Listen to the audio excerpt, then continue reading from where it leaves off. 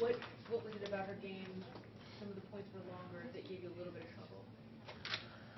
Um, well, I didn't have, I didn't feel any trouble today, you know.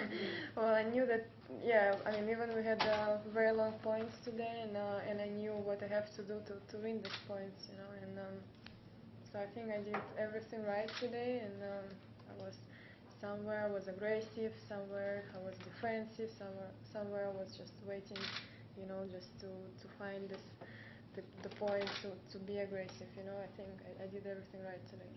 Christina um, spoke about being passive and not being comfortable in, on that big stage at, at such a young age. Do you, as the person on the other side of the net, do you do you pick up on that and then try to exploit it Yeah. right away?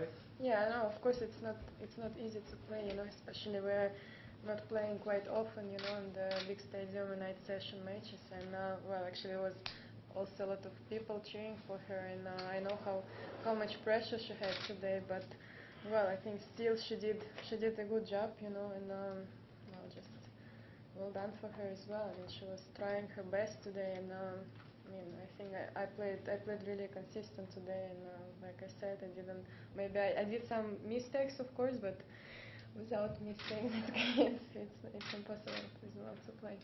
Did you get any sense of how to play her yesterday when you guys, you guys were against each other in doubles, right? Yeah, that's right. Yeah, I mean it's um, it was good for me, you know, because before like she had a really good results on the American tournaments, but um, I never see her play. And uh, yesterday doubles it helped me a lot because I, I I saw how she's serving, how she, she's returning, and how she's playing in general. So and I was after that match I was quite com- like confident and comfortable. I knew how to play against her.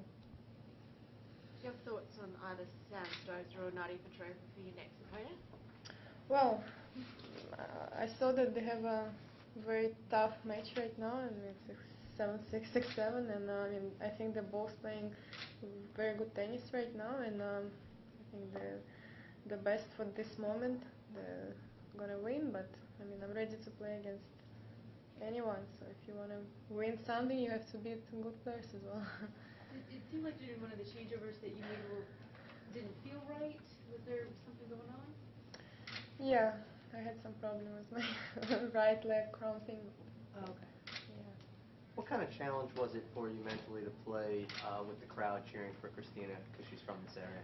Well, I mean, of course, uh, I was ready for it. You know, I knew that it's going to be a lot of people and all people going to support her. I mean, I was I was ready for it, and uh, I think it's great. You know, it's great that the people come here. They like tennis. They're supporting the people from uh, I mean America, and I think it's it's great for the tennis here for sport.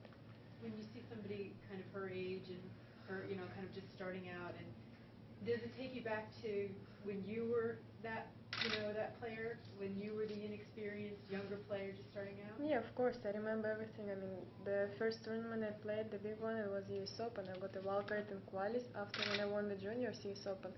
And uh, I remember past the quali, I won two rounds in the main draw, and I lost the third round against Mauresmo. And we played. We didn't play on this big stadium. We played on grandstand. But still, I remember this feeling, how nervous I was, you know, and uh, how difficult it was to play. But still, it was a lot of, I don't know, excitement, you know, that to play on this such a good level.